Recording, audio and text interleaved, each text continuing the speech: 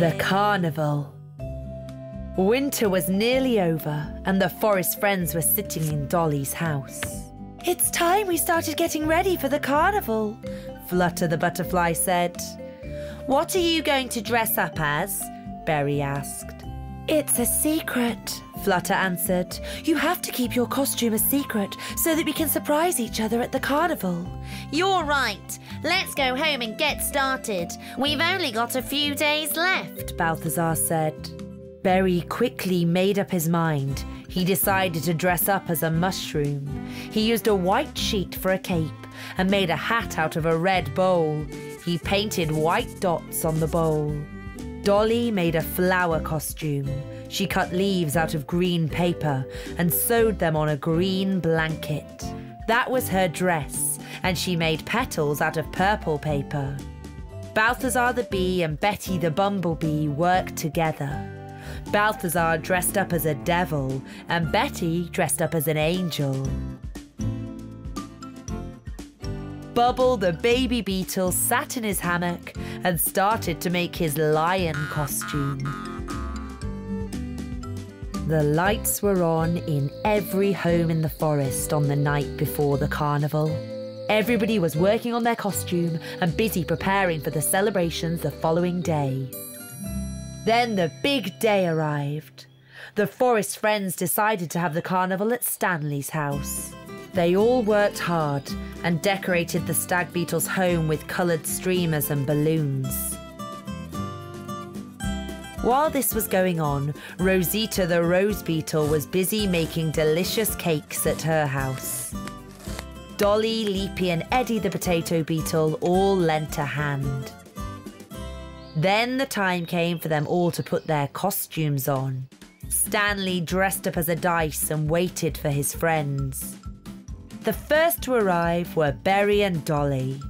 He was dressed as a mushroom, and she was dressed as a flower. Then Balthazar came as a little devil, and Betty as an angel, with Flutter in a crab costume. Leapy looked just like a cactus. Bubble was dressed as a lion, Eddie was a chef, and Rosita was a bunch of grapes. Her dress was covered in shiny balloons. The firefly was dressed as a pencil, and the flea was an octopus. Sam came as a soldier, and one of the little ants was dressed up as a pancake. Suddenly, Zephyr the dragonfly burst in crying, It's gone! My beautiful princess dress has disappeared! I washed it and I hung it out to dry, but the wind blew it away! Zephyr sobbed, and the others tried to comfort her. I don't need my soldier hat. I've got a sword. Sam Snail suggested. No, that's for boys. I had a lovely princess dress, but the wind blew it away. We'll make you a new costume, Leapy said. A sun costume. Zephyr liked this idea very much. This yellow curtain will make a great cape, Dolly shouted. And these yellow pieces of paper can be the sun's rays, Stanley said, and took some of the streamers down. They cut, glued, sewed, and stitched, and the beautiful sun costume was ready in no time. I can lend you my little lantern. A pencil doesn't really need a lantern, laughed the firefly. Thank you, Zephyr said. She was so happy she blushed. The forest friends danced and sung all night and agreed Zephyr had the most special costume of all. As what could be more special than a sun that shone at night? Berry and Dolly say, What will we learn today? Alfonzo's Fiddle. One autumn day, Alfonzo the cricket stood happily playing his fiddle in the mushroom field. The forest friends were all enjoying the lovely music. The little ants were playing football on the hill. But oh dear, the ball bounced away and knocked the fiddle clean out of Alfonzo's hands. Alfonzo shouted in horror. My fiddle! My fiddle's broken! And then he burst into tears. He was sobbing so loudly that everyone came to see what the fuss was all about. Alfonzo pointed angrily at the spotty ball. That ball! That ball is to blame, and those naughty ants! Where am I going to get a fiddle from now? He picked his broken fiddle up, went into his house, and slammed the door shut behind him. Alfonzo, Alfonzo, come out. I'm sure we can help you, Berry pleaded. But Alfonzo didn't want to see anybody. His friends sat sadly in the mushroom field and didn't know what to do. Then Dolly had an idea. I know. Let's make Alfonzo a new fiddle. Yes, let's make a new fiddle. Flutter the butterfly nodded. I know who can help us. We have to find Charlie the click beetle. He made Alfonzo's first fiddle. The band of friends set off and walked and walked until they reached a blue house. They knocked on the door. A tiny, timid beetle popped his head out. He wore a blue hat and had beautiful dark blue wings. Who are you? he asked. Dolly told Charlie the whole story. Oh, but don't be sad. If that's your problem, I'm happy to help. Alfonzo will be playing music on his new fiddle in no time at all. The click beetle gave everybody a job to do. Some collected wood for the body of the fiddle, while others gathered grass for the strings. Now he had everything he needed. Charlie got to work. He sawed, sanded, polished, and waxed. And then, like a little miracle, the new fiddle was ready. Can I try it? Dolly asked. No, it's Alfonzo's instrument, Flutter told her. But I want to have my own musical instrument, Dolly sulked. Me too, me too, the little ants shouted. Quiet, said Charlie. Why don't you all start an orchestra? A great big orchestra. Like a music band? And everybody could have their own instrument? That's a very good idea. The first thing they made was a harp for Dolly. Stanley the stag beetle got a double bass, and Eddie the potato beetle had a cello. Berry made a trumpet out of a lily. Morris the maybug made a horn from a honeysuckle flower. The big spider used horse chestnuts and acorns for drums, whilst Zephyr and Leapy made cymbals out of pebbles. Charlie carved flutes from birch twigs for the ants. Flutter the butterfly got a lute, and Balthazar the bee got a zither. Bubble the baby beetle played a triangle. They all had a quick practice and then headed for Alfonzo's house. Alfonzo heard the music and looked out of his window to see where it was coming from. He was surprised by what he saw. Please, Alfonzo, the little ant began. Don't be mad at us for breaking your fiddle. We'd like you to have this new one as a present. Charlie made it. Alfonzo began to play straight away, and the sound of his fiddle filled the forest once more.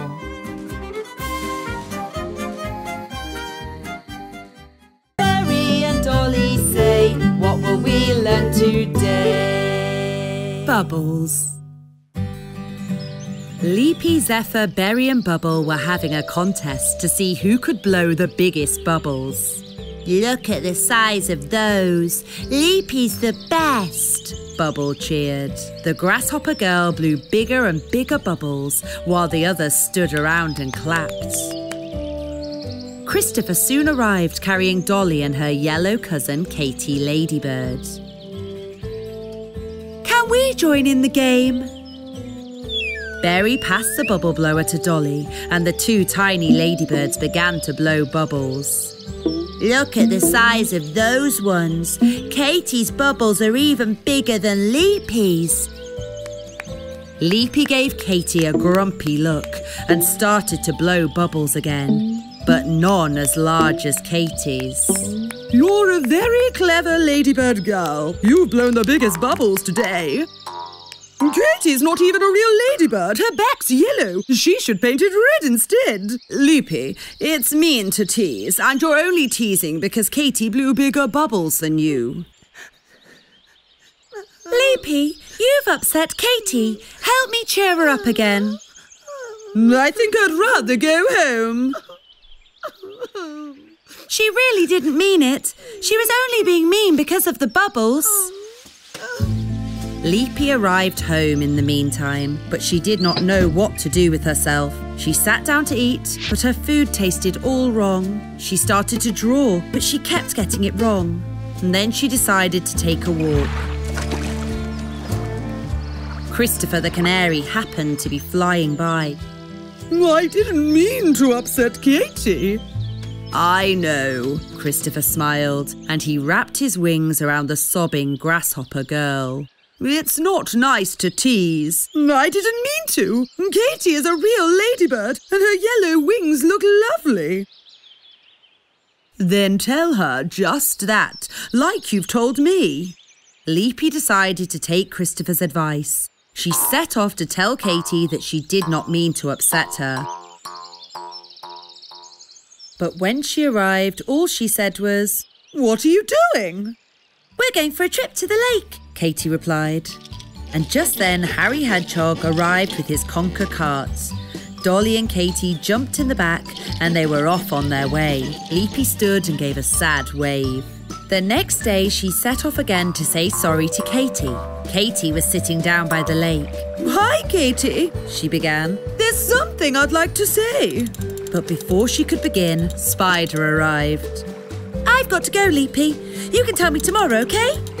Katy told her and jumped onto Spider's back and hurried off with Dolly and Flutter. Why are you so sad? Bubble asked. I'd like to apologise to Katy, but it keeps going wrong. Don't be sad. Come inside. We'll think of something. I've got an idea already. Why don't you give Katy a little present? I know. I could give her my bubble blower. Leapy exclaimed and hugged the little flower beetle. Leapy wrapped the bubble blower up the moment she got home, and she could hardly wait to give the yellow butterfly girls a lovely present. The sun was setting in the sky when she walked over to the spotty house. Dolly, Katy, Zephyr, and Berry were planting flowers outside. What beautiful flowers! Can I help too?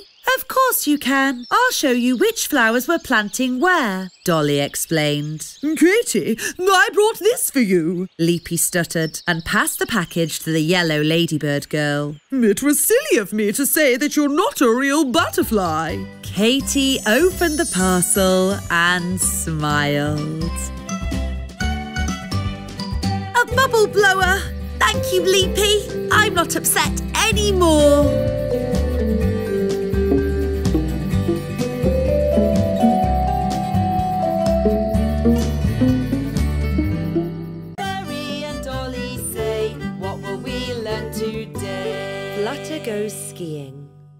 On a winter day, Iris the ice beetle invited all her friends to go skiing. Has everyone got skis? she asked.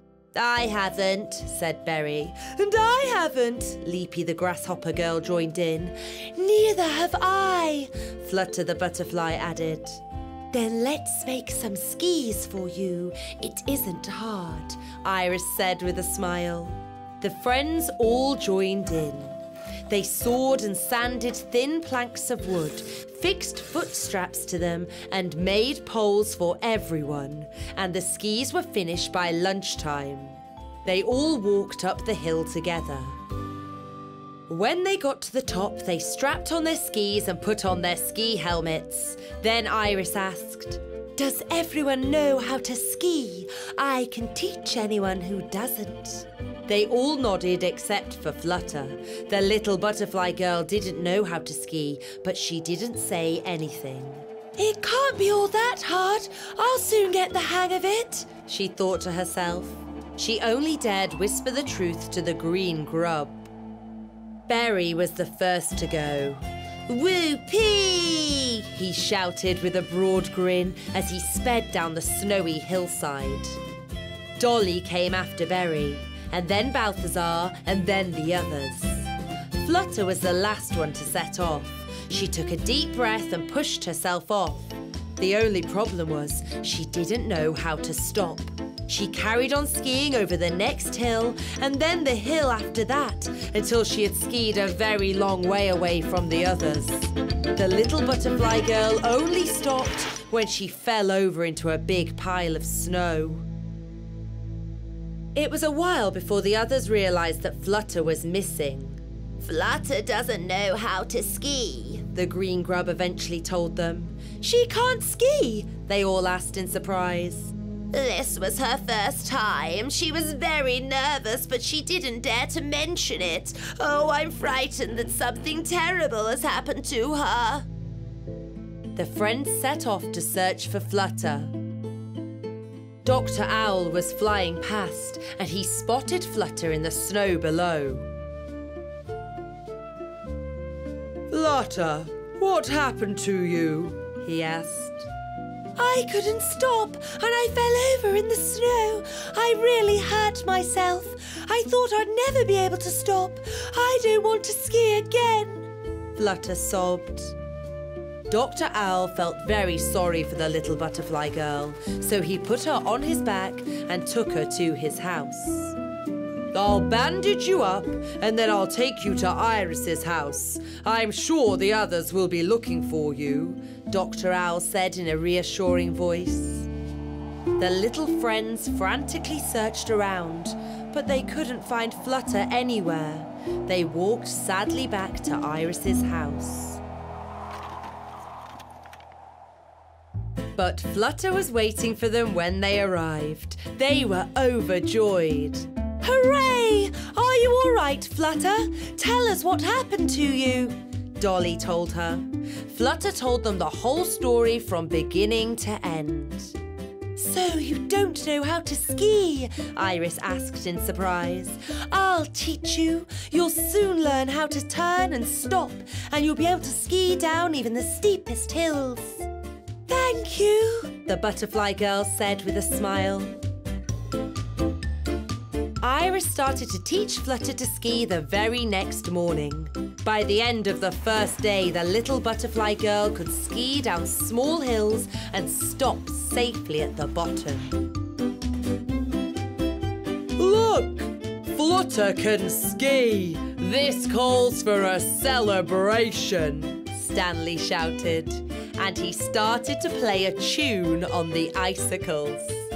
The others sang and danced around the happy little butterfly. Berry and Dolly say, What will we learn today? The missing nuts. Hello, Berry. Hurry up. Let's go and see Reggie Squirrel. We really should say goodbye to him before he hibernates for winter, Dolly the ladybird said. Berry put on his hat, scarf, and gloves, and the two friends made their way to Reggie Squirrel's home. Their friend the squirrel was sitting on a branch in front of his home. We wanted to say goodbye before you snuggle up to sleep through the chilly winter. Why don't you come up for a glass of juice and a quick nut snack? Reggie suggested. Look at all the yummy food I've gathered for winter. My pantry's full.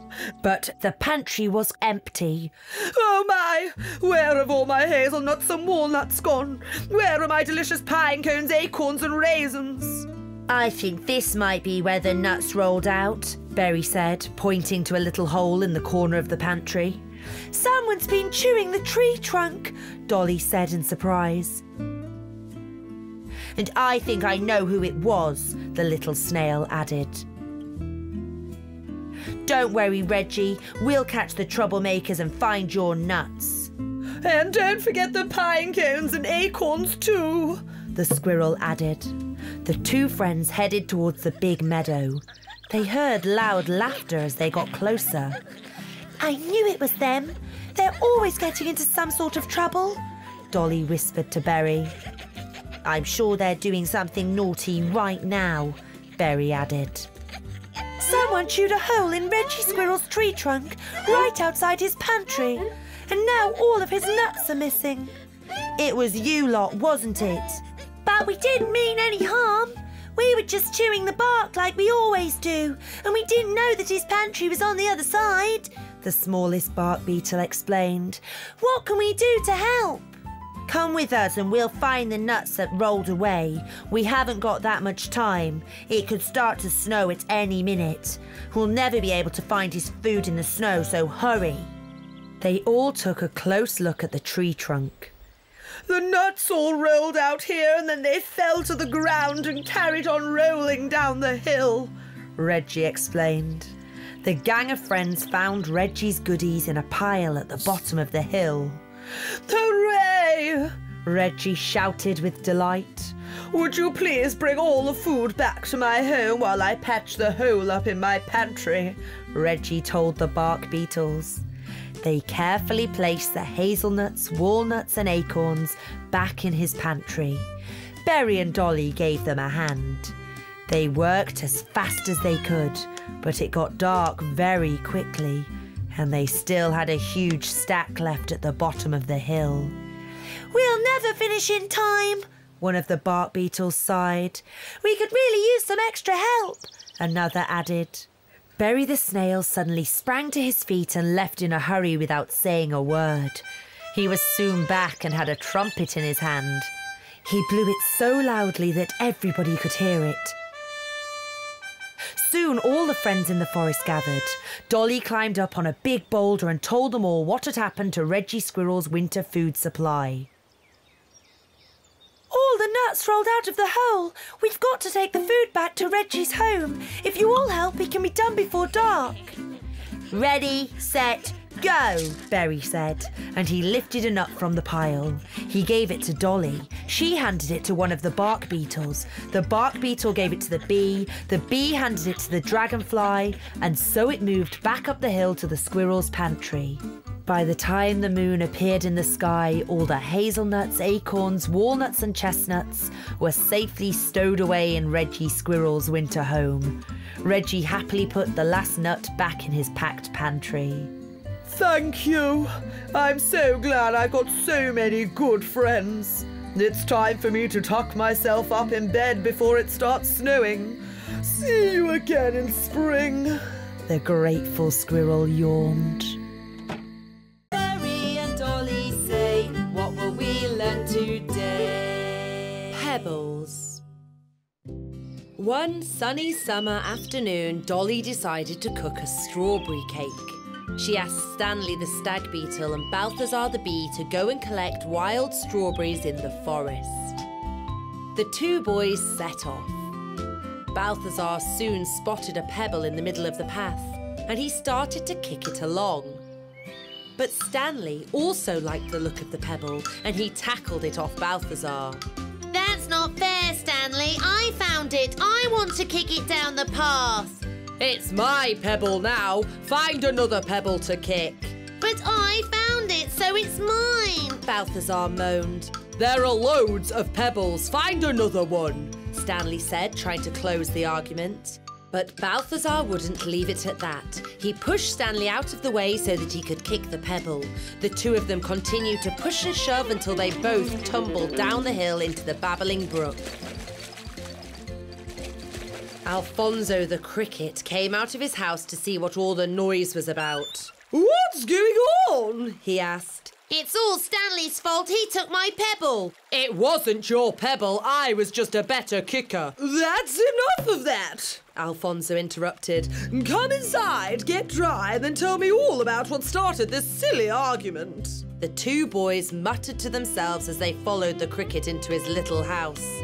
They hung their wet clothes out in the hot sun and sat wrapped in towels while they waited for them to dry.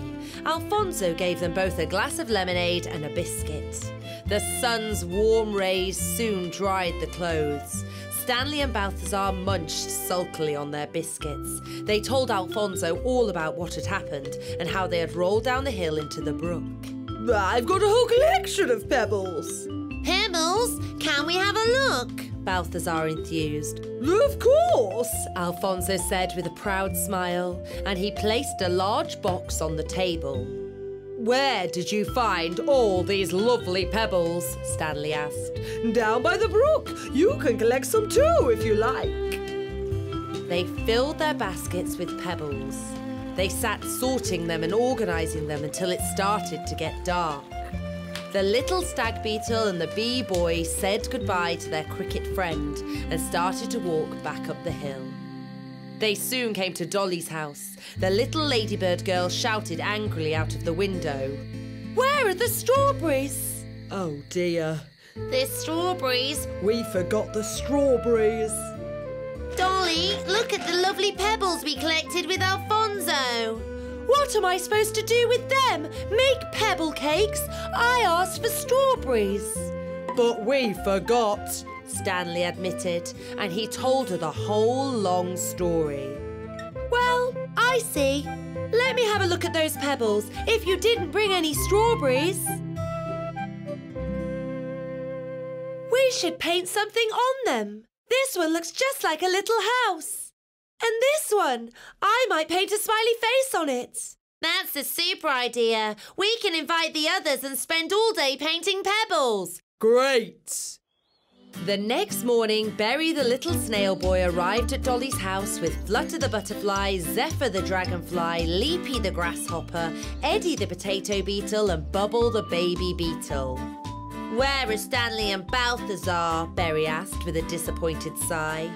Here we are, the stag beetle and the bee boy announced, and they proudly presented Dolly with a big basket of strawberries. Oh, thank you, The little ladybird girl said, and she mixed the cake while the others got to work painting the pebbles.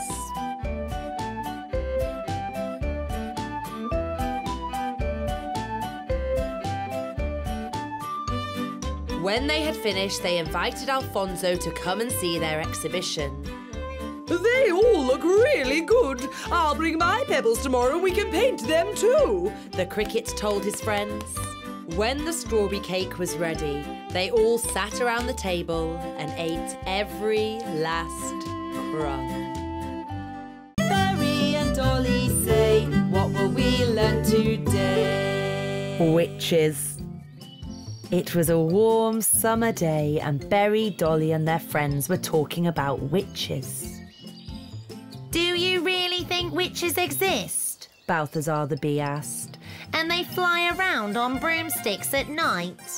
"Mm, I'm not sure, Berry mumbled. Then Berry and Dolly decided to walk home. Why don't we come back here later? We might see some witches. The ladybird suggested.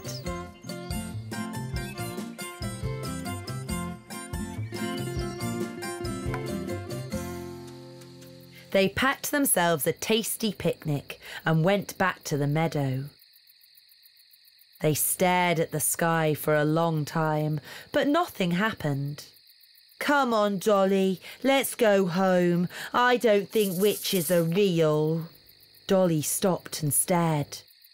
Berry, I just heard a strange noise from behind that tree. Oh, Berry, the leaves are moving. The two friends hugged each other in fright.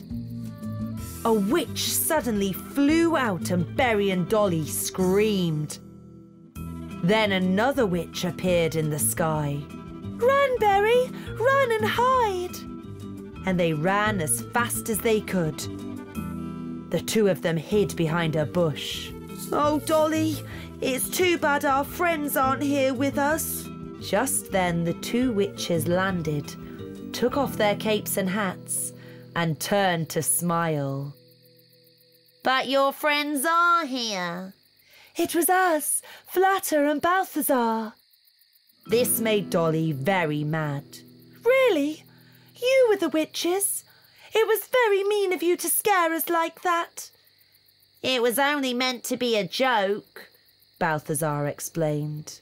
Berry was angry too. It was a very bad joke. You'll be sorry you did this.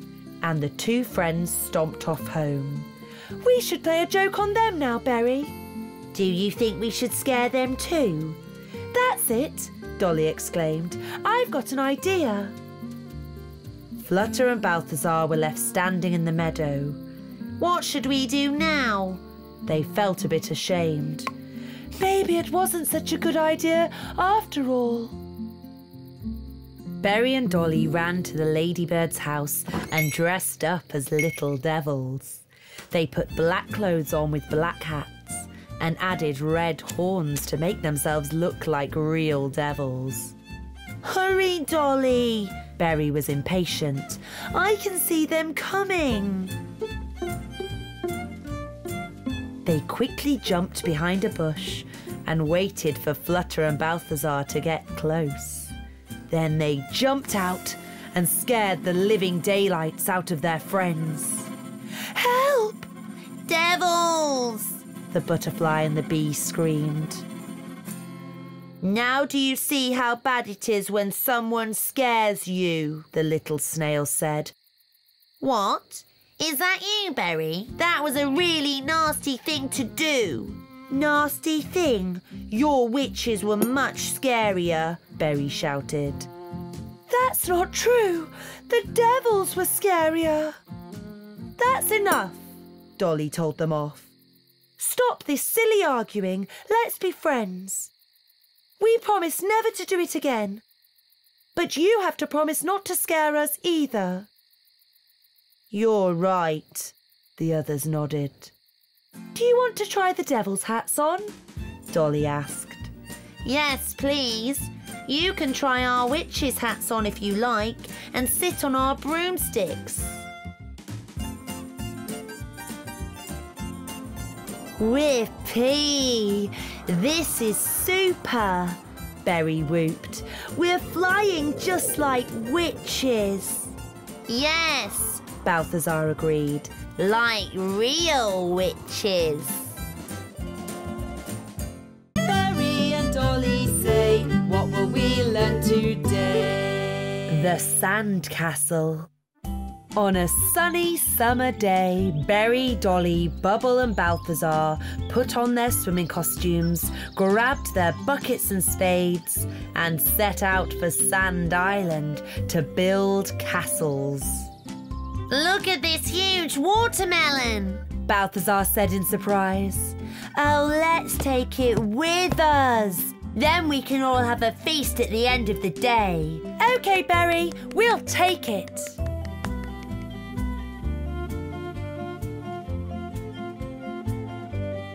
Berry, Dolly, Balthazar, and Bubble carefully rolled the watermelon in front of them.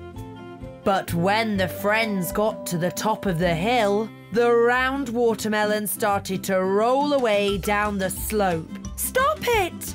Dolly shouted to the others. Bubble pounced on the watermelon, but he couldn't stop it. The baby beetle slipped off and bumped his head. The juicy watermelon just carried on rolling. They all ran after it as fast as they could, but the watermelon was much faster than all of them. Then a terrible thing happened. The watermelon got to the bottom of the hill and smashed into a sharp rock. Our lovely watermelon smashed into pieces. Oh, the watermelon! Balthazar was very sad too. Why are you all complaining? Let's eat it instead. The baby beetle suggested. So the four friends sat down and started to munch on the watermelon. They ate the sweet red fruit until their tummies were full. We'd better hurry to Sand Island, or there'll be no time left to build sand castles. Dolly, wait for me. I'll fly with you. Balthazar said.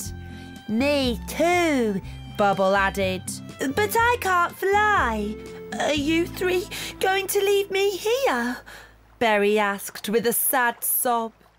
Let's build boats out of the watermelon rind. This way, Berry can sail to the island with us. Balthazar suggested.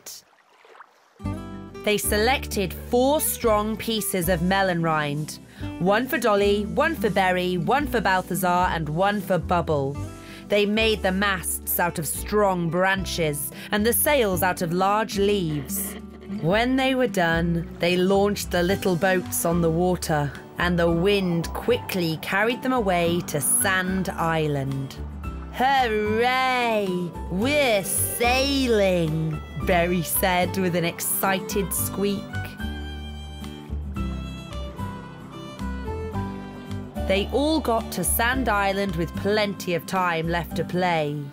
Look, someone's coming, and he's got a bucket in his hand. Indeed, there was a cheerful beetle walking towards them on the sandy shore.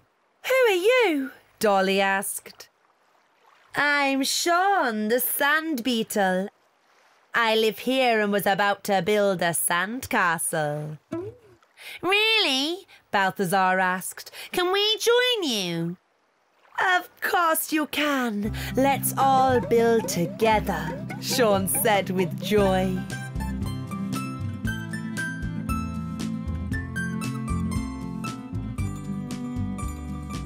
The five of them built a grand sandcastle with all kinds of tunnels, towers, and bridges.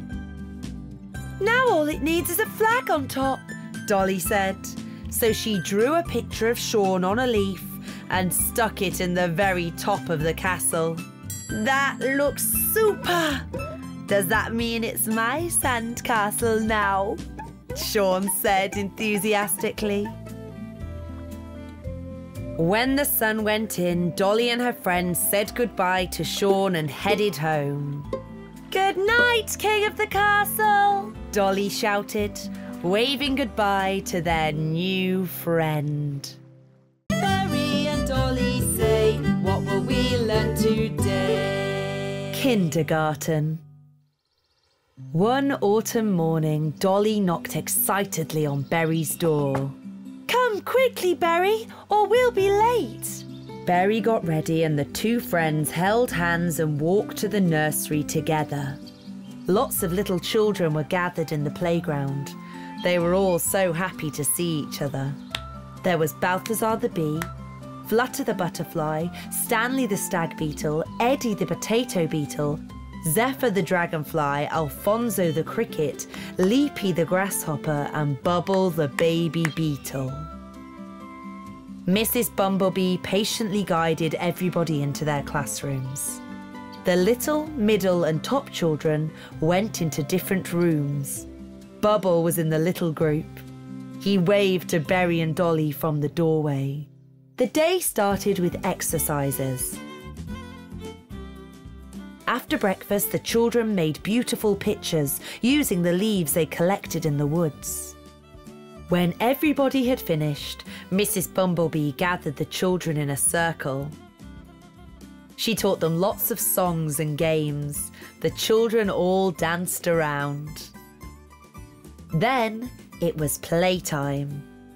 Mrs. Bumblebee sat in a rocking chair and watched the children. Berry and the boys ran straight over to the car box and started playing cars. They built ramps and tunnels. Can I join in, boys? Dolly asked. She was holding a broken red car. Oh no, Dolly. You can't play cars with that old thing, Berry told her. And anyway, cars are for boys, not girls. That made Dolly cry. The boys don't want to play with me, she told Flutter. Flutter, Leapy, and Zephyr quickly cheered her up. Come and play with us. We're playing with dolls. The girls dressed their dolls in pretty dresses, fed them, and rocked them to sleep. Dolly liked this game a lot.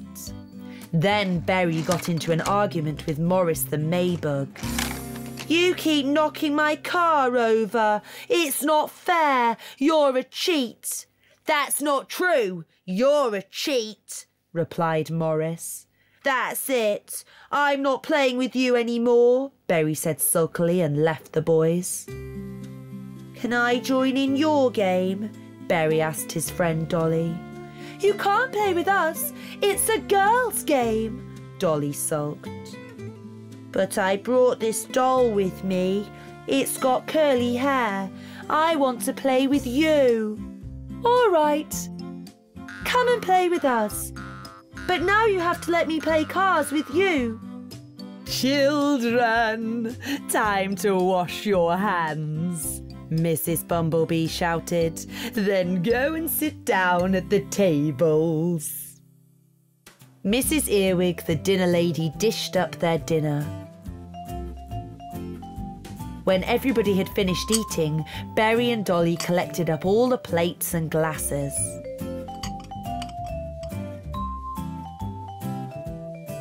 Then the children had a little lie down while Mrs. Bumblebee read them a story. They all listened in silence, and a few of them fell fast asleep. When they got up, they all had a snack and went out into the playground. It was enormous and filled with all kinds of slides, climbing frames, and swings, with a big wooden train in the middle. Berry and Morris quickly made friends again and played on the swings together. Dolly helped Bubble up the slide and caught him at the bottom. Bubble liked that a lot. The rest of the day flew by, and soon the children were waving goodbye to each other. They couldn't wait for tomorrow to come. Berry and Dolly say, What will we learn today? Fairy cards. Flutter the Butterfly Girl had a favourite card game. There were 16 cards in total, with pictures of pretty fairies in yellow, dark blue, pink, green, orange, red, purple, and light blue dresses. No two cards were alike. The girls played with their fairy memory cards all the time. Stanley the Stag Beetle thought of a horrid joke to play. I could scribble on all the cards, he thought naughtily to himself, but he didn't dare do it. And so he tried to talk Balthazar into ruining the pretty cards. Balthazar, wouldn't it be funny to scribble all over Flutter's cards? The silly bumblebee gave a sneaky snigger and started to scribble on the cards with a dark green felt tip pen. He drew mustaches, devil's horns, forks, and a devil's tail on the pictures of the pretty fairies. The butterfly girl saw her cards that afternoon and screamed in horror. What happened to my lovely cards? She asked in a panicky voice, and Flutter began to sob. What a horrid thing to do! Who could have done such a thing? Dolly asked, sounding terribly shocked. I know who did it. Balthazar's the only one with a dark green pen, Zephyr said in an angry tone. And I saw a green mark on his hand. Did you do this? Berry asked gruffly. That's not how it happened. Then how did it happen? It's all Stanley's fault. It was his idea. But I didn't scribble all over the cards. Flutter sobbed and Reggie Squirrel gave her a comforting cuddle. The one who thought it up is naughty and the one who did it, Reggie Squirrel snapped strictly. You're both naughty. That was a really stupid joke, boys. Just imagine if we burst your football, Zephyr added. How sad would that make you feel? You're right, Stanley admitted. Flutter, we'll take your cards and see if we can get the scribbles off them. OK? OK, sniffed the butterfly girl. Stanley and Balthazar strolled sadly home and got straight to work trying to fix the cards they had scribbled all over. But the harder they tried, the more mess they made. The rubber made a hole in the paper and holes appeared all over the place. Berry, help! We couldn't rub the scribbles off and we've made a hole with all the rubbing. That's because you can't rub felt tip pen out. Let's go and ask Dolly for help. Dolly, help! We can't fix the cards. I'm not going to help you. It was all your idea, so you have to put it right. Don't be so unfair. Please help because Stanley and Balthazar really do want to make things better again. OK, come on in. The three boys sat down at the table. Hmm, they can't be fixed. The boys just sat and looked sad. We have to think of something else, and I've already got an idea. Let's make new cards. Dolly placed pieces of white card on the table and took out her felt tip pens. The boys cut the cards out and Dolly tried to copy the fairy pictures. Then Balthazar and Stanley carefully coloured the drawings in. All eight fairies were soon ready, and of course, there were two of each. You draw so nicely, Dolly. Now give them to Flutter and say that you're sorry. Flutter, look! We've made you a whole new set of cards. Dolly drew them and we coloured them in. Please be friends with us again. Flutter flicked through all the cards and a smile spread across her face. Thank you, she said and invited the boys into the house. They were soon joined by Berry, Dolly, and Zephyr, and the friends played until late with the new pack of cards. And they were all the best of friends once again.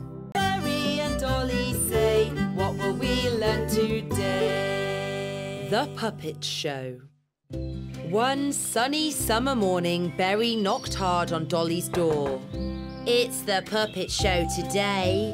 Let's go and tell Flutter and Eddie too. Berry and Dolly's first stop was at the pretty butterfly's house. Wake up, Flutter. The fleas are going to give a puppet show. It's Snow White. The little friends stopped in front of the potato beetle's house. Eddie, are you coming to see the puppet show? But Eddie didn't open his door. Hurry up, Eddie. We're going to be late, Berry shouted, but there was still no answer. Flutter gently turned the handle and popped her head inside. Are you still in your pyjamas, Eddie? Berry grumbled. Hurry up and get dressed. I'm not going. My tummy's covered in nasty bites. It really itches, Eddie sobbed. Let me have a look, Dolly told him. They're not bites. You've got chicken pox, the ladybird girl told her sickly friend. There's no need to be scared. I've had them already, and I had thousands of spots. I'll go and get Dr. Owl, Dolly announced. He'll know what to do. Dr. Owl soon arrived and took a good look at Eddie. Hmm, it's definitely chickenpox. Chickenpox is contagious, Eddie. I'm afraid you won't be able to go to the puppet show. Contagious? Does that mean Berry, Dolly and Flutter are going to catch my chickenpox?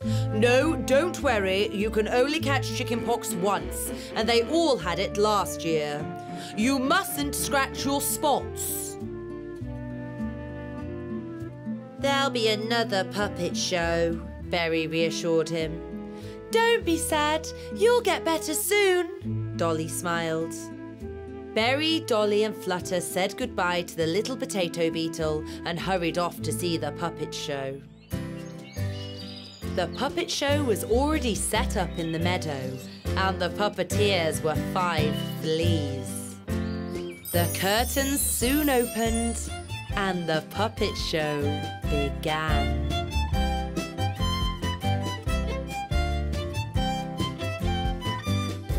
They all watched the rest of the puppet show and clapped loudly at the end. The flea puppeteers came out from behind the tent and took a bow.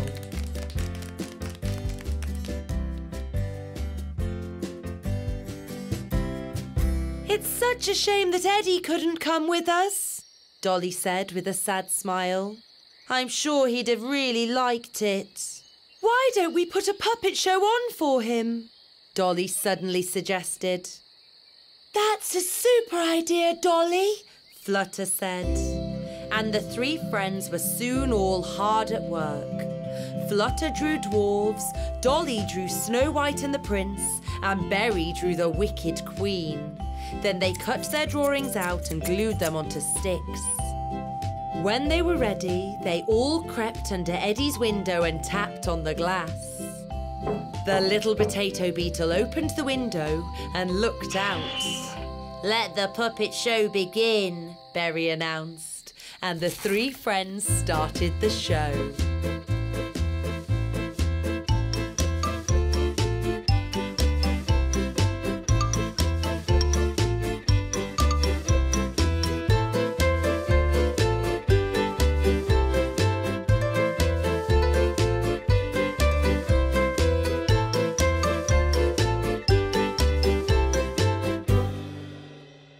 Thank you, he said. You're the best friends a beetle could have.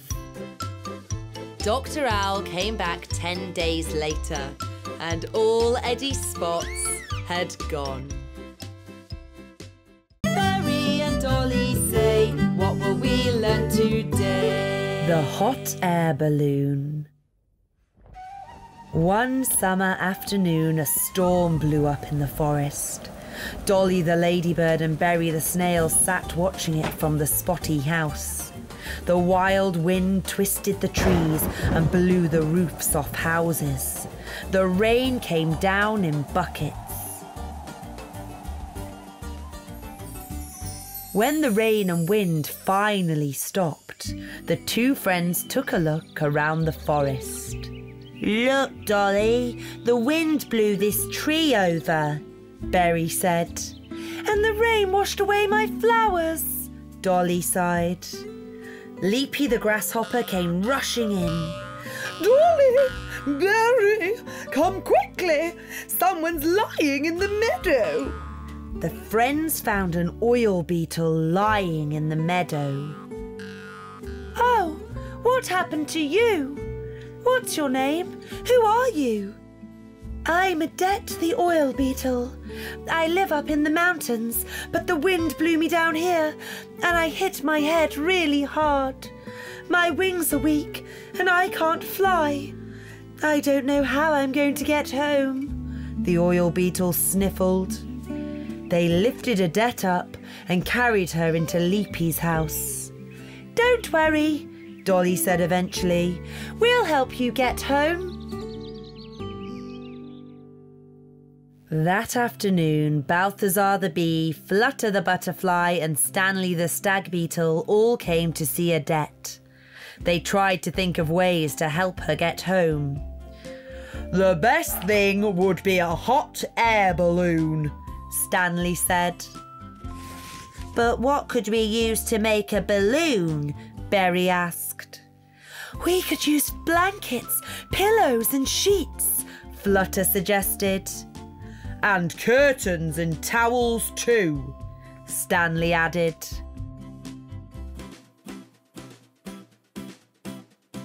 They got to work immediately. They stitched all the blankets, curtains, sheets, and towels together. It took a while to get everything finished, but Adette helped as much as she could. Every day she was feeling stronger, and even her head had stopped hurting. It's ready, said Stanley. Thank you, the oil beetle replied happily. Hooray! We're flying! Berry exclaimed. Wow, it's beautiful! We can see the whole forest from here! Dolly laughed.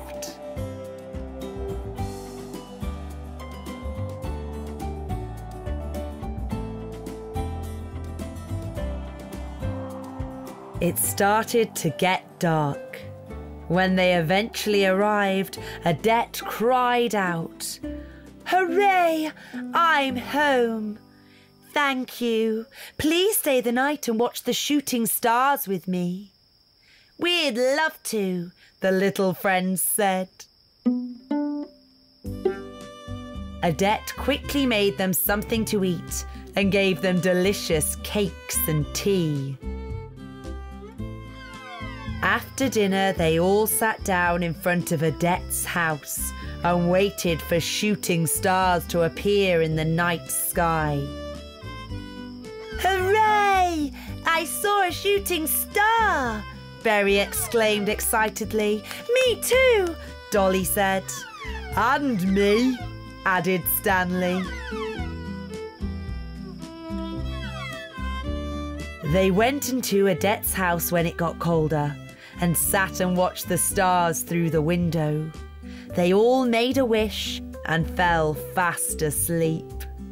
As she slowly drifted to sleep, Adette wished that someday she would meet her new friends again.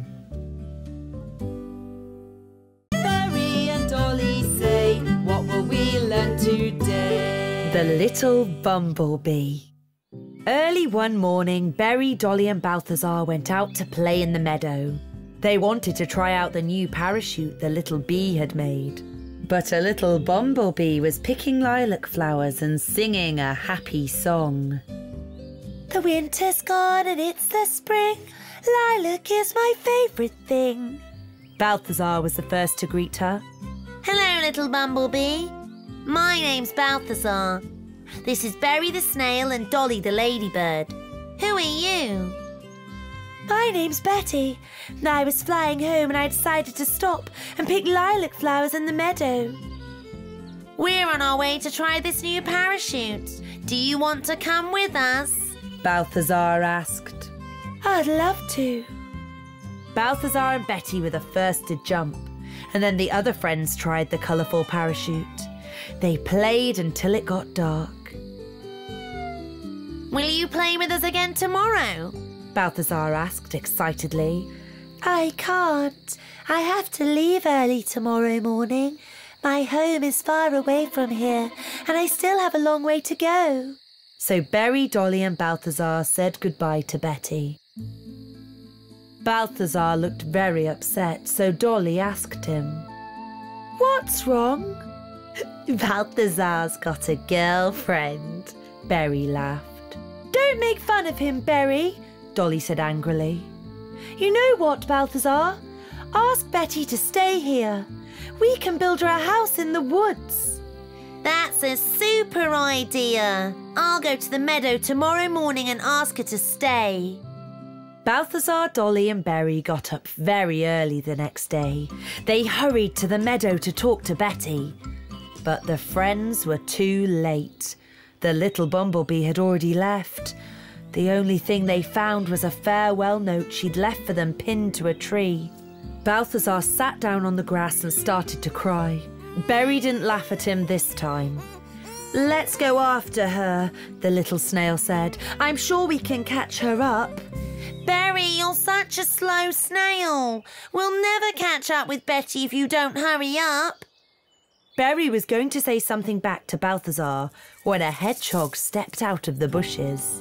Perhaps I can help. Now, I'm not too fast, but I'm sure I'm much faster than you three. The friends liked the idea. They built a little cart out of a horse chestnut shell and tied it to the hedgehog's spikes. The hedgehog cart was ready to roll.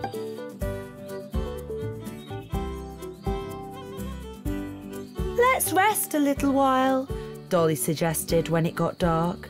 We'll carry on tomorrow morning. Balthazar started to cry again. We'll never find her. I can smell something sweet. It's lilac blossom. Lilac? Dolly wondered. But there aren't any lilac bushes around here. Let's look around. Would you like to come back and live with us? We could build you a little bumblebee house in a tree. You wouldn't have to fly back to your faraway home. We'd be so happy if you lived with us. That's a super idea. We'd all be very happy. Berry and Dolly nodded. Thank you. I'd love to come and live with you. Betty replied. She was happy. You came all this way to find me. That's so nice of you. They all jumped into the hedgehog cart and trundled back to the meadow. They started to build the house the very next morning. They built Betty a pretty treehouse near the lilac field.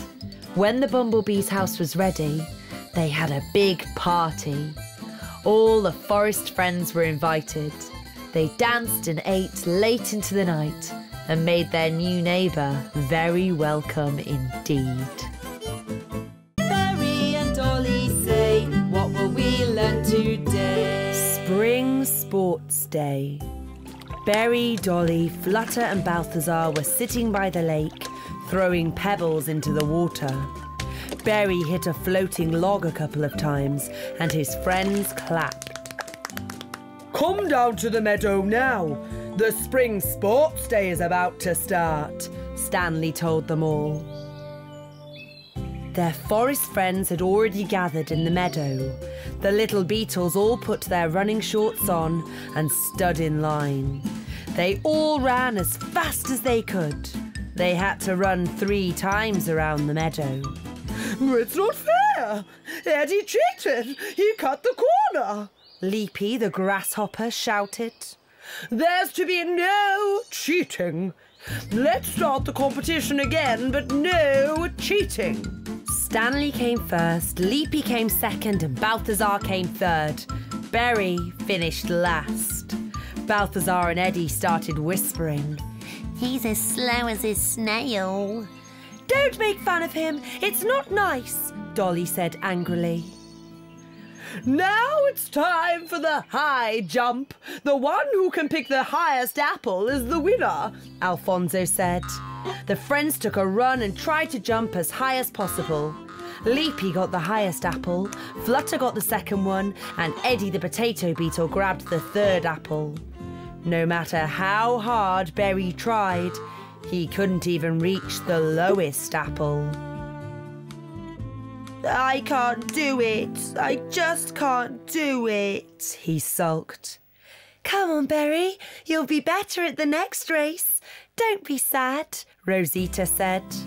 But Berry was too nervous to join the rolling race because he was frightened he'd crack his shell. The others all lined up and rolled from one end of the meadow to the other. Dolly was the fastest and she won. Now let's start flying, Alfonzo said. The fastest to fly to the top of this tree and get a pine cone from there is the winner. The beetles started immediately. Flutter, Balthazar, Dolly, and Zephyr all joined the race. Flutter was the fastest and got to the top of the tree first. I can't fly either, Berry snivelled. Don't be so angry, Berry. It's time for the skipping competition now. The fastest skipper wins. The four contestants started skipping. But suddenly, Berry got tangled in the rope and hurt himself.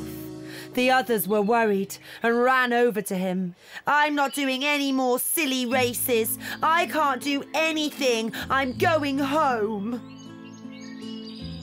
We have to think of something. We have to cheer Berry up, Dolly said. You're right. What's he really good at? Rosita asked. I know, Flutter shouted. Throwing! That's a super idea, Balthazar agreed. Berry was the only one who could hit the log in the lake. They made five piles. The first one was made out of apples, the second of horse chestnuts, the third of pine cones, the fourth out of hazelnuts, and the fifth one out of pears. Dolly convinced Berry to come back to the meadow. It's time for the throwing competition. Do you want to join in? Rosita asked. Hooray! Throwing? Of course I'm in. Everybody had a go, but Berry was the best. He was the only one who managed to knock over all five piles. You see, Berry, I'm the best runner. Leapy's the best high jumper. Flutter's the best at flying. Dolly at rolling. Rosita can skip the fastest. And you're the best thrower. Everybody's good at something, Stanley explained.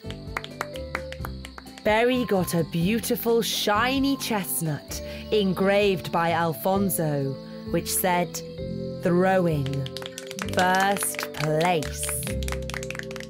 Berry and Dolly say, What will we learn today? Little kids and big kids.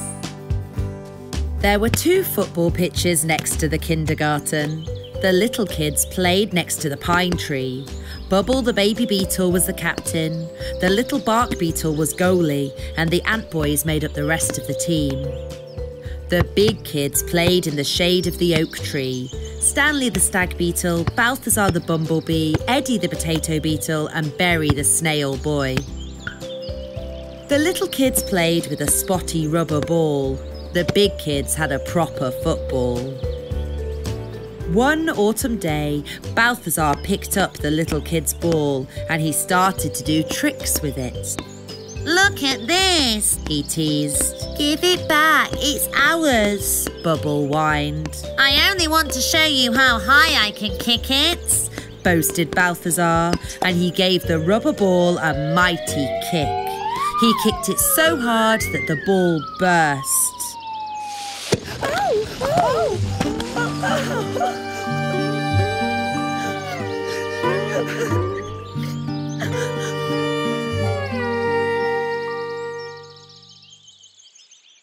Now there's only one ball left. The little kids can have it in the morning and the big kids can play with it in the afternoon, the kindergarten teacher decreed. The big kids kept taking the ball from the little kids. And the little kids would steal it from the big kids.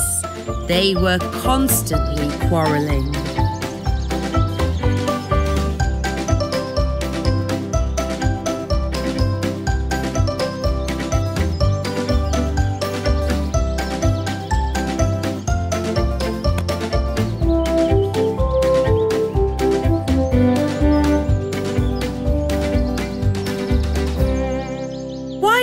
Play together? Dolly asked the boys. Together? Never. The little kids are weedy and clumsy, yelled Stanley the stag beetle. And the big kids are horrid and pushy, the little ant boy shouted back. Stop being so silly. Play a match instead. Little kids versus big kids. How can four little kids win against four big kids? The bark beetle complained. All right then. Leapy and I will join in with the little kids. Then there'll be six of us against four big kids. How about that? The ladybird girl asked. Super, they all agreed. They started to play. They had so much fun that they hardly noticed the time fly by.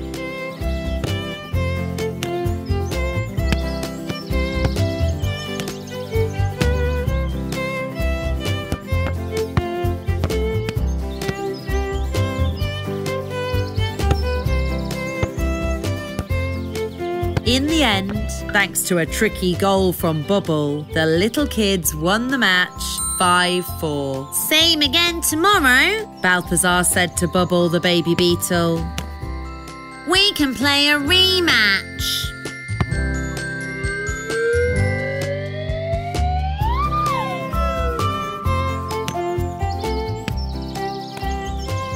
The next day, they played the rematch. This time, the big kids beat Bubbles' team 4 3.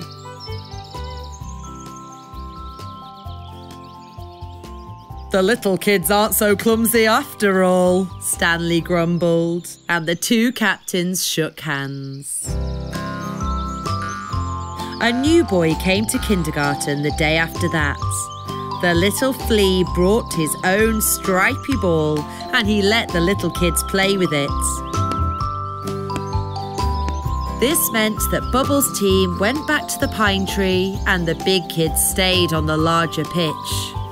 They sometimes played together after that, but they did not count the goals. Berry and Dolly say, What will we learn today? The rainbow. It was a rainy summer day. Dolly the ladybird and Berry the snail sat sadly underneath a giant leaf. Then the sun came out and the sky was blue again. But the shower didn't stop. And soon a colourful rainbow stretched across the sky. It's beautiful, They shouted. Berry thought it would be a good idea to climb up the rainbow and slide down on the other side. But his first try didn't work. I think I'll try from the other side, he said. Trust me, you can't climb a rainbow. Dolly said to the excited snail. But then Berry came up with a new plan. I'll use a ladder. Oh, Berry, I don't think it's a good idea. Dolly said anxiously. Dolly was right, and Berry was angry. Dolly tried to distract her friend, Come and play something else. but Berry still didn't give up. Look, Dolly, I'm sure I can jump on top of it from here. But that idea didn't work either. Dolly ran over to Berry. Are you all right? I'm fine, Berry sulked. Berry was very sad, and Dolly tried everything to cheer him up. I got you some flowers. She said kindly, but Berry couldn't be comforted. Then the rain dried up and the rainbow disappeared. They walked home hand in hand, and Dolly said nice things to the little snail. Chin up, Berry. It's your birthday the day after tomorrow, and I'm sure you'll get some super presents. Dolly had a great idea when she got home. I'll make a rainbow slide for Berry's birthday, she said to herself. Then his dream can come true and he can slide down a rainbow. Balthazar the bee and Flutter the butterfly helped her. Balthazar, Dolly, and Flutter painted the slide with colourful paint, wrapped it in yellow paper, and tied it up with a blue ribbon. The three friends even baked a cake for Berry. When the time came, Balthazar and Flutter took Berry to Dolly's house, where everything was ready for the birthday party. Let's give him his presents. yelled Balthazar, and Dolly gave Berry the chocolate cake.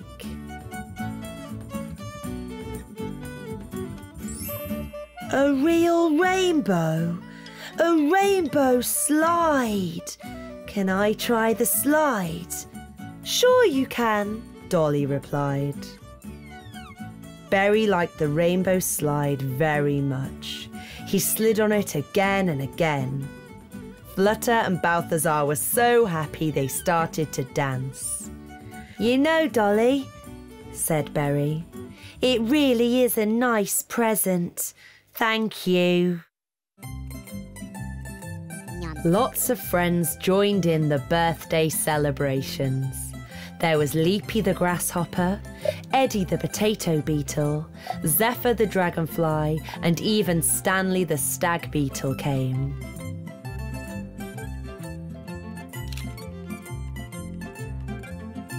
The little snail let everybody try his new slide.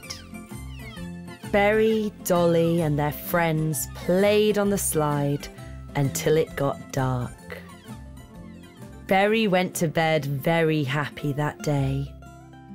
What a wonderful birthday I've had, he sighed with a smile.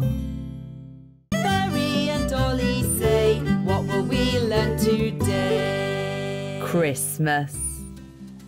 It was a crisp winter day, and Berry the snail and Dolly the ladybird went into the woods to look for a bunch of Christmas greenery. Look, Berry, this little tree got knocked over in the storm. Let's take it home. We can decorate it for Christmas. Hooray! We'll have a real Christmas tree, Berry shouted. They lifted the tree up and saw a centipede sheltering under its branches. Help me, Berry. Let's put him on the sledge. He's hurt himself and looks very cold. We can take him to my house. They lifted the centipede carefully onto the sledge. Will he be all right? Berry worried. Of course he will, Dolly reassured her friend. When they got home, they put the poorly centipede to bed. Dolly made him hot tea, and Berry read him caterpillar stories from a storybook. Next morning, the centipede opened his eyes and smiled a little smile. He got better every day, and soon he was healthy again. Dolly asked him to stay. You're so nice. Don't go, Centipede. Spend Christmas with us. Well, thank you. I'd love to stay. But what should we get him for Christmas? Dolly wondered. What would make a centipede happy? Dolly told him her idea. The little snail nodded excitedly. Berry and Dolly went to see the ants. The queen ant welcomed them with open arms. Dolly told them what kind of present she'd thought of. We can make anything you want, said the queen. Christmas came and Berry and Dolly made a tree stand. As night fell, Berry gave Dolly her present. Merry Christmas, Dolly. Thank you, Berry, the ladybird said. She was delighted. It's beautiful. Dolly was very happy and wound the pretty ribbon around the tree. Merry Christmas to you too, Dolly said, and handed Berry his present. Sparklers, super! Let's put them on the tree. They lit the sparklers, and crackling sparks danced around the Christmas tree.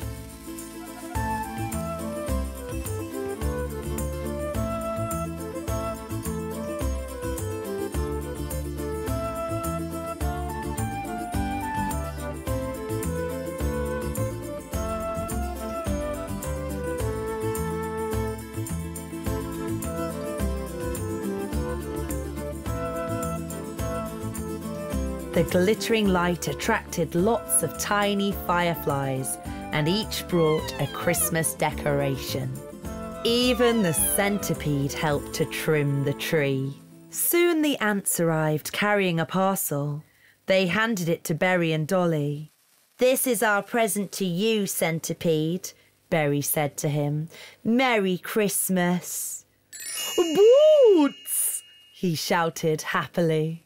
They'll keep your little feet warm when you're walking in the snow, Dolly explained. The friends' celebrations went on late into the night. There was Eddie the potato beetle, Stanley the stag beetle, Alfonzo the cricket, and Rosita the rose beetle. The fireflies built a big snowman with the little ants. They all sang and danced around the Christmas tree. Flutter the butterfly came to celebrate with them. Zephyr the dragonfly danced with Leapy the grasshopper.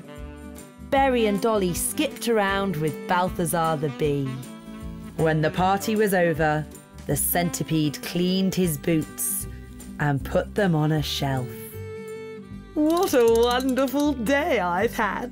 It's a shame that Christmas only comes once a year.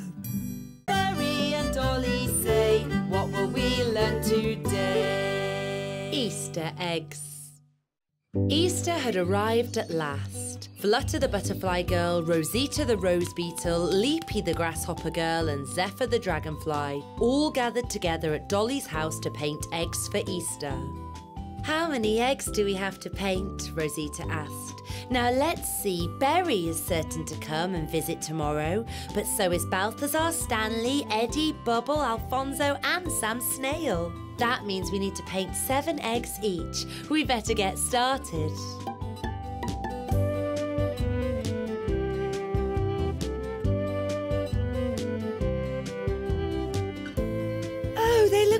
Oh, pretty. I'm sure that the boys will love them. Flutter told the others. It's time to go home. I've got to get up early tomorrow to make pancakes for the boys. Flutter said. I'm going to bake scones, Rosita said. And I'm going to make an apple strudel. Dolly added. All the girls got up bright and early the next morning. Flutter hurried into the kitchen, put on her apron, and mixed up a big batch of pancake batter. Rosita popped her apron on and started to knead her scone dough. Dolly rolled her pastry out, and Zephyr made a sponge roll. Leapy woke up feeling quite excited. Boys never get up early. I've still got plenty of time to bake an apple pie. And she put a big basket of apples on the table. Oh dear. The basket of apples tipped over and knocked her pretty painted Easter eggs onto the floor. They were all ruined. Oh, my eggs! Now what am I going to do? What will I give to my visitors? The little grasshopper girl sobbed as she ran to Dolly's house. Dolly, I've smashed all seven of my eggs. Help me. I haven't got time, Leapy. I'm busy baking. But I've still got two unpainted eggs. If you paint them quickly, they'll be dry by the time the boys come. Rosita, all my eggs got smashed. Can you help? I'm too busy baking, but you can have these three white eggs. You've still got time to paint them if you hurry. Flutter, help! I've got to paint my eggs all over again. The first lot got broken. All of them? I am sorry, but I can't help now. My pancakes will burn. You can have these two unpainted eggs I've got left over. Something terrible has happened, Zephyr. I've broken all the eggs I painted yesterday. Please help me because I haven't got time to paint another seven eggs. Leapy complained to her dragonfly friend. I know who can help you. Come with me. The two friends ran through the forest all the way to a cave. The spider stumbled sleepily from his home. Oh, can you help us, Spider? Zephyr asked. Leapy's eggs all got broken. And now she has to paint new ones and there's not much time left. The boys will be coming to visit her soon. If I have to, the spider grumbled. Thank you. You're very kind. Leapy got out all her paints and brushes, and the two of them started to paint the eggs. The spider could paint three eggs at once. We're ready, Leapy said with a happy laugh. And then she thanked the spider for his help and she arranged the pretty eggs in a dish. There soon came a knock at Leapy's front door. She opened the door and was greeted by all seven boys at once. Happy Easter, Leapy! They had all come to see Leapy, who offered them a dish, and they all chose a pretty Easter egg.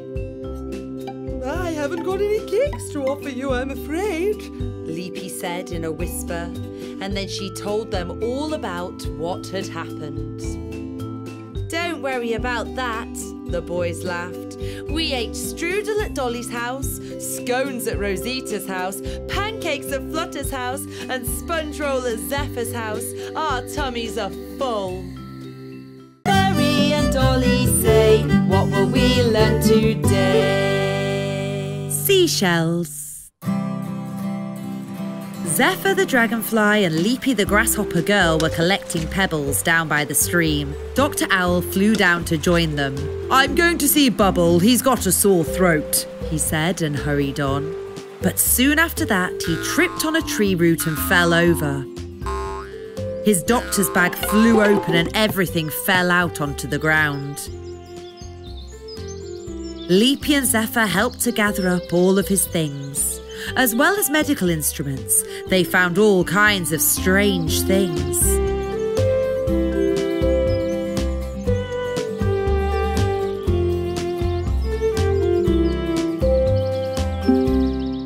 They were presents from my patients. You shouldn't keep such beautiful treasures in your doctor's bag. You're right.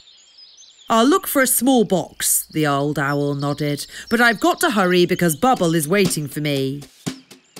Bye bye, Dr. Owl, the girls shouted after him. Zephyr and Leapy were strolling home when they saw the robin outside Dolly's house. The red bird was just saying goodbye to the ladybird girl. I have to go now. It's a long flight to the seaside. Are you going to the seaside?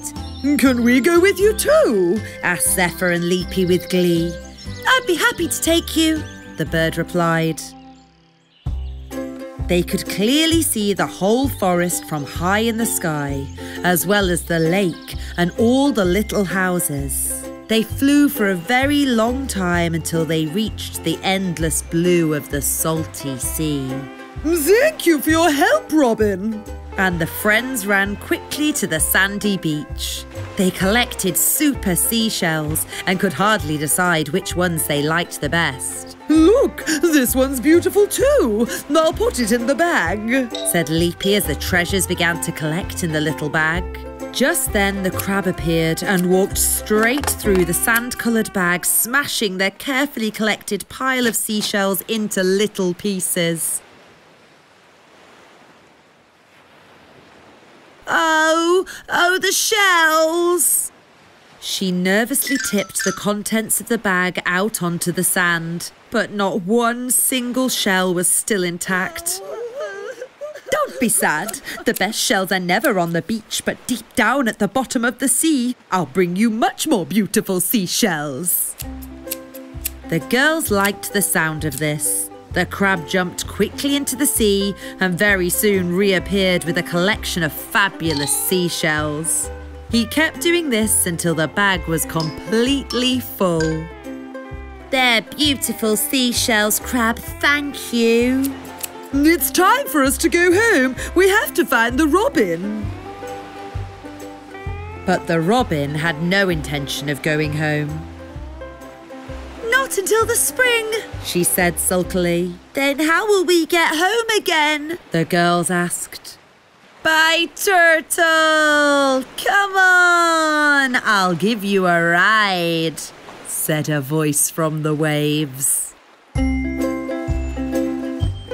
So Leapy and Zephyr travelled home on the turtle's back. When they arrived back home, they thanked the turtle for his help and said goodbye. The next day, Leapy and Zephyr showed Berry and Dolly all the lovely seashells they had collected. Let's make something out of them, Berry suggested. That's a super idea, but what? asked Zephyr. I know. Let's make a box for Dr. Owl's treasures, Leapy said, and they all got hard to work.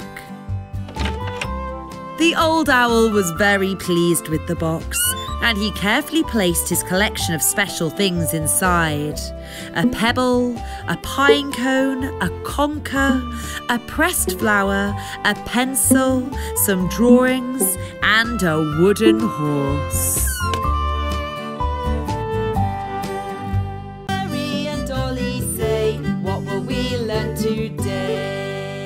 Snowman. One cold winter morning, Berry the snail knocked on Dolly's front door. Let's go and play with my sledge in the snow. Dolly quickly put on her winter coat and her hat, scarf, and gloves. She sat on the sledge and the little snail pulled her along. Eventually, the snow stopped. Berry and Dolly enjoyed the winter sunshine. They sledged down the steep side of the hill.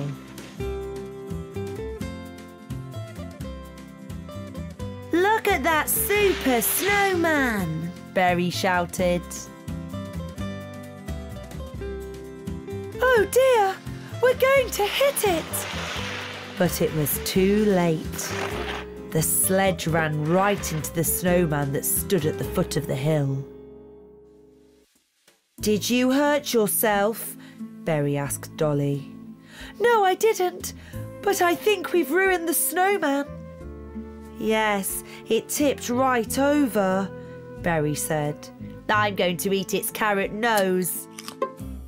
Let's have a snowball fight with the snow from the snowman. Berry and Dolly started to throw snowballs.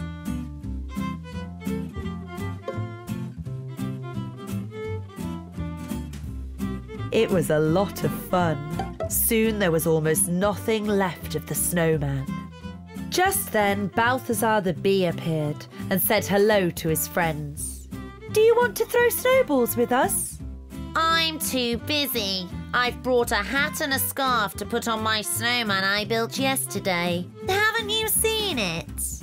Berry and Dolly looked at each other. Oh dear, Berry whispered. Balthazar must be looking for the snowman we hit. They didn't dare tell Balthazar that they'd knocked his snowman over. No, we haven't seen a snowman. I can't find my snowman anywhere. Berry and Dolly felt very sorry for the little bee. Don't be sad, Berry said finally. Let's build a new one. Okay. Balthazar sniffled. Dolly made the biggest snowball. It went on the bottom. Balthazar made the middle one for the snowman's tummy. And Berry made the smallest snowball for the snowman's head. Then Dolly lifted Berry up so he could stick the head on top.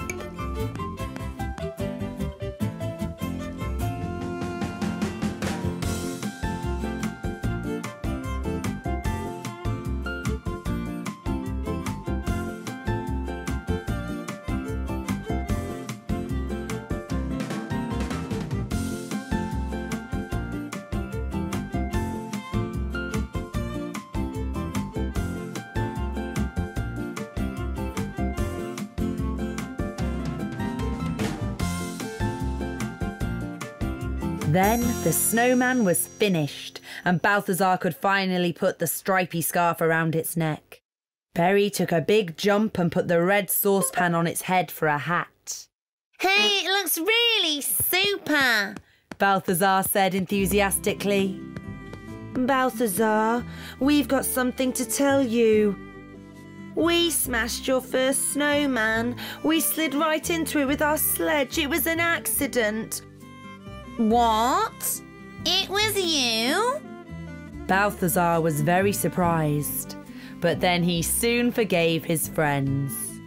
This snowman looks much better than the first one. He declared. Come on, let's sledge down the hill together. Berry, Dolly, and Balthazar played with the sledge until it got dark and were very careful not to hit their new snowman.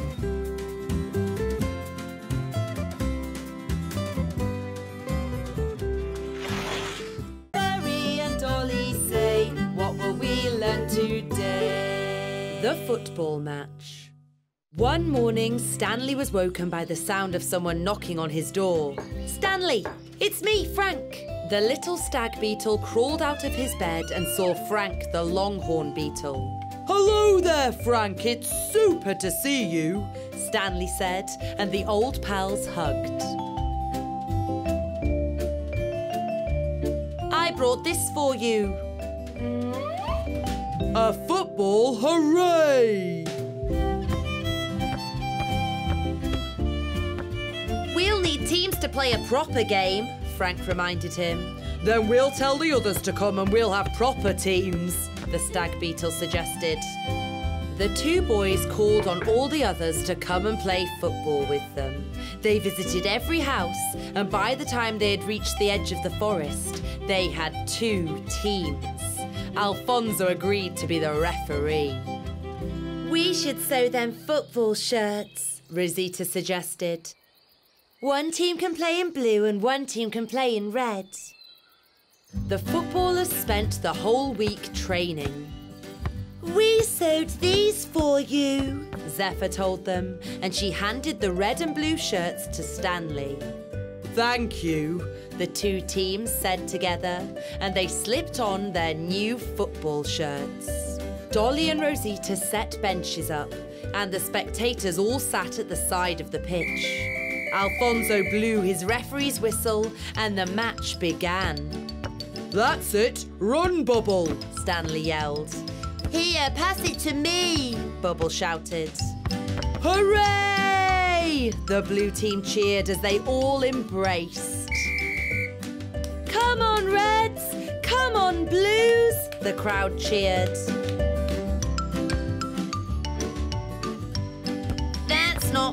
Frank. You can't touch the ball with your hand, the bee-boy complained. Mm, Balthazar's right. Don't do it again, Frank. It's against the rules. The referee said.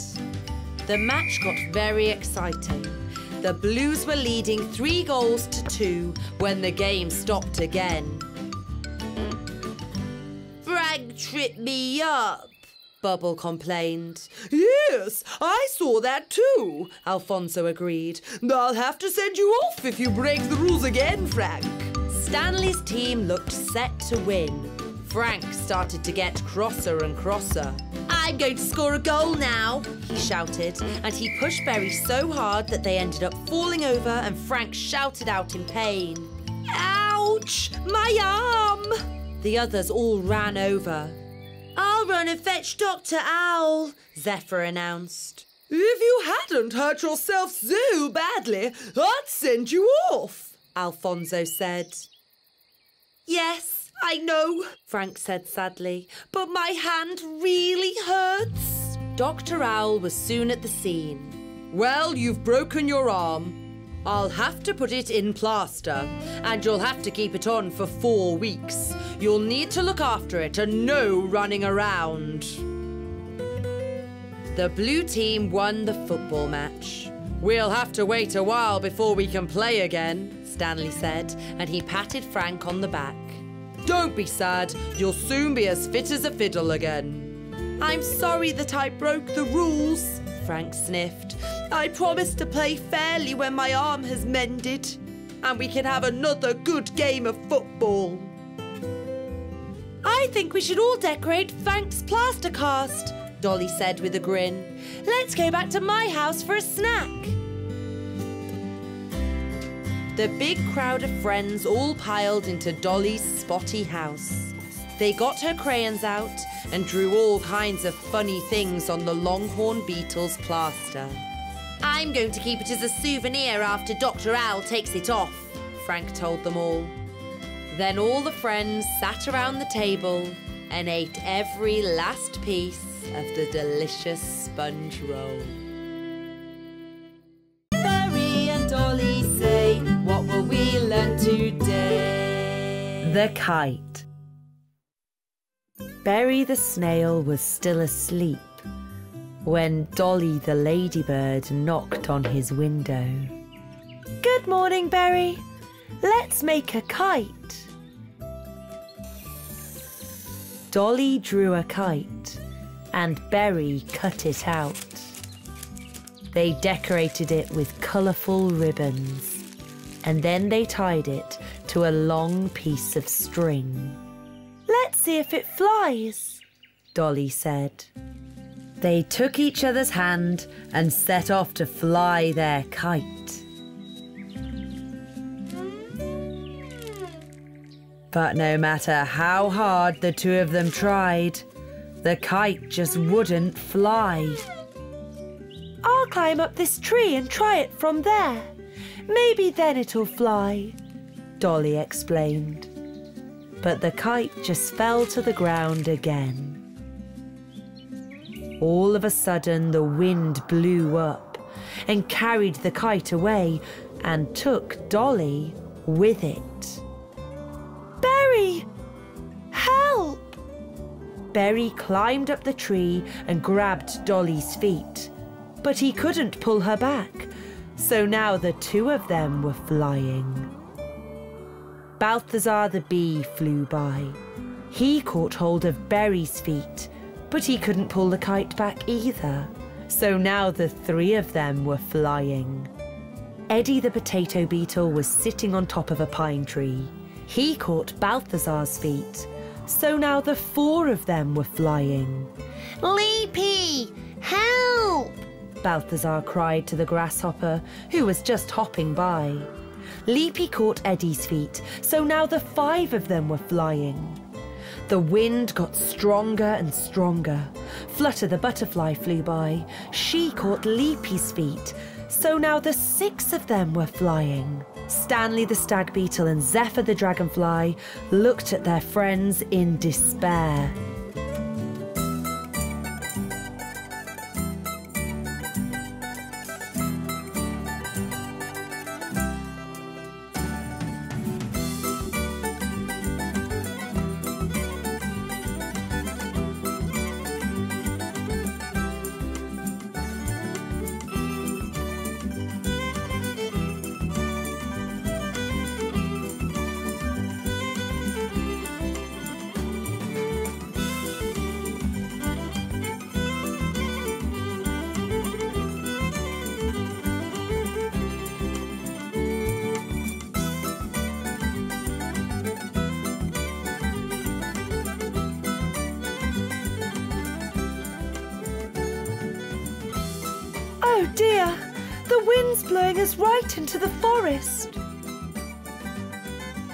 Kite got tangled in the top of a tall tree and they landed in the treetops. The wind died down and the sun came out. Berry gave the ladybird a worried look. Dolly, I can't fly. How am I going to get down from here? Don't worry, Berry. I'm sure we'll think of something. I know what to do. Jump into this blanket, Berry. Don't be afraid. You won't hurt yourself. Berry jumped down into the blanket and bounced back up in the air. Look at me. This is fun. We want to try, the others shouted. The little friends jumped up and down on the blanket until it got dark. Long after they were all in bed asleep, the wind blew up again and carried the kite far, far away. Berry and Dolly say, What will we learn today? Dumplings. One autumn day, Dolly the ladybird cooked plum dumplings and invited her friends to lunch. Berry came along, and so did Balthazar, Stanley, and Flutter. The little ladybird girl put three dumplings on each plate. Berry, Dolly, and Flutter were soon full. Mmm, plum dumplings. I love them. I could eat five. said Balthazar the bee. Five is nothing. I could eat seven. Seven. I could eat eight. I could eat ten, the little stag beetle announced. Then let's have a competition. Balthazar concluded. Let's see who can eat the most dumplings. Dolly didn't like the sound of this, and she tried to talk them out of it, but the boys were determined. It'll all end in tears, She warned, but Balthazar and Stanley wouldn't listen. We've already eaten three dumplings. Now let's eat the fourth, Stanley suggested, and he plopped another dumpling onto each plate. When they had finished, they put another on their plates and ate a fifth dumpling each. After the fifth, they ate a sixth. After the sixth, they ate a seventh. After the seventh, they ate an eighth. And then a ninth dumpling. And now for the tenth. Can you keep going? Balthazar asked.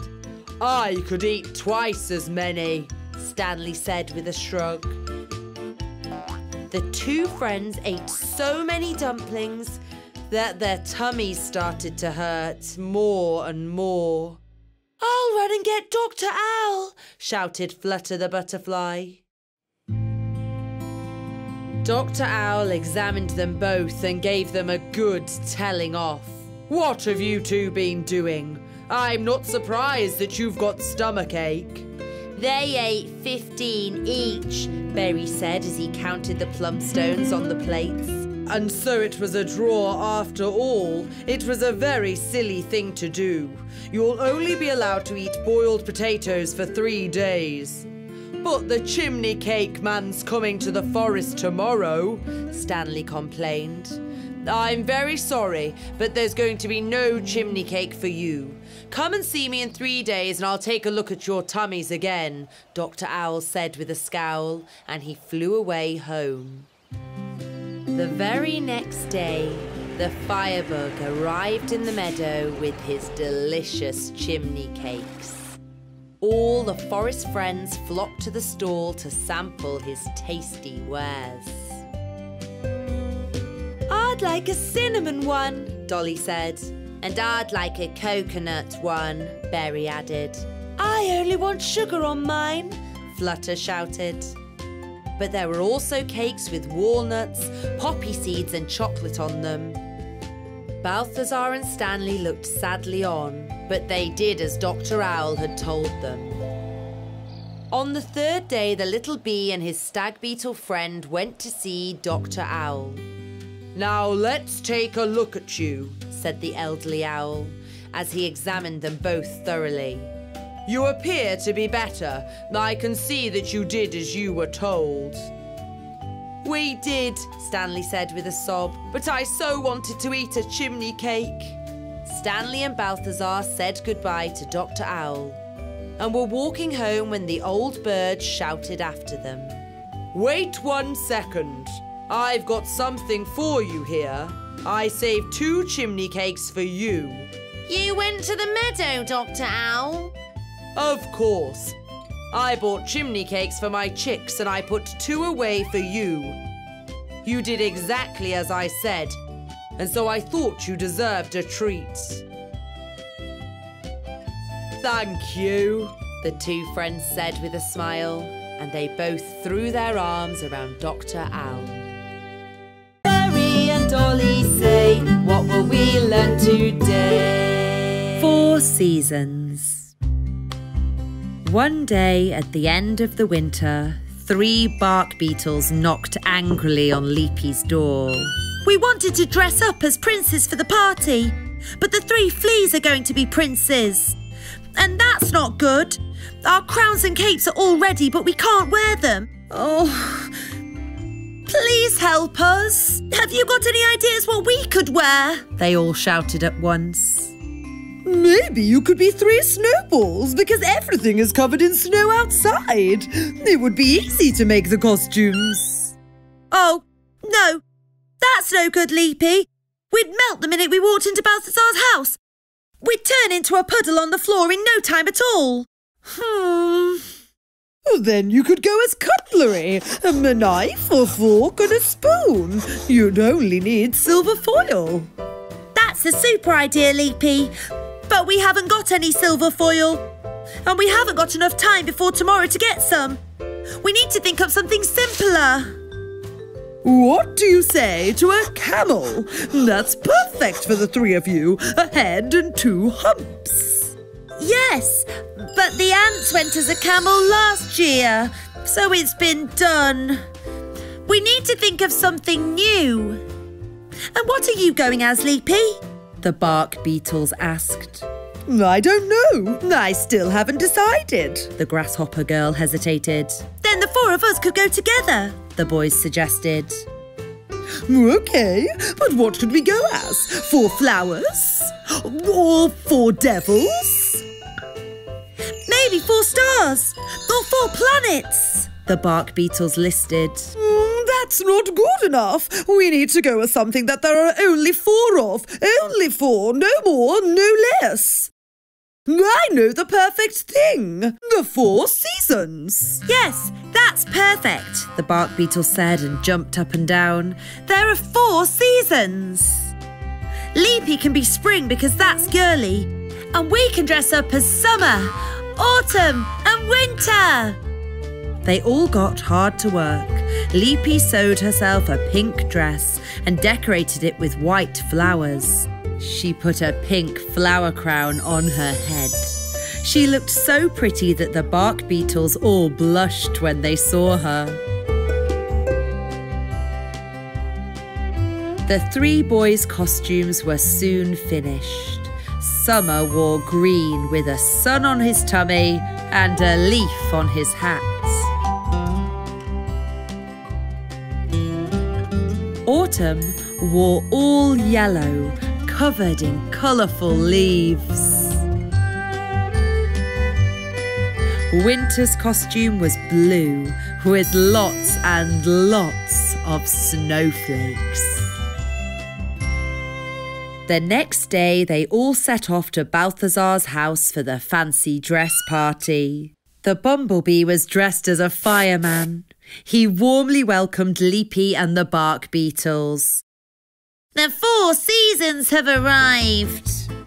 Eddie was dressed as a carrot, Bubble as a rocket, Betty as a drop of water, Rosita as a bird, Zephyr as a bus ticket, Morris as a sugar cube, Flutter as a banana, Dolly as a sweetie, and Charlie as a dog.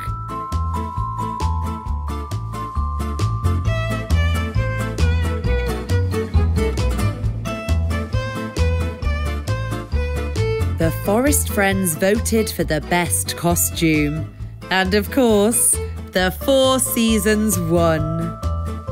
Stanley came second with his rainbow costume.